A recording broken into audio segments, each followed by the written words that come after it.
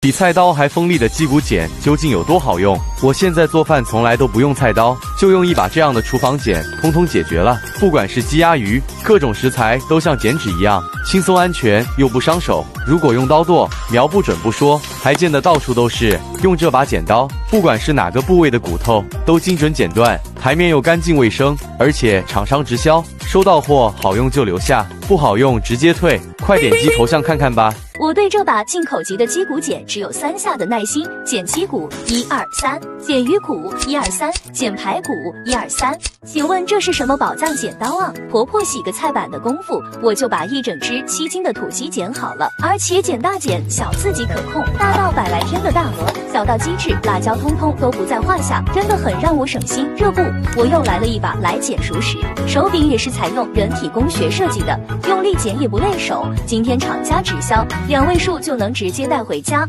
赶紧去下一单试试吧。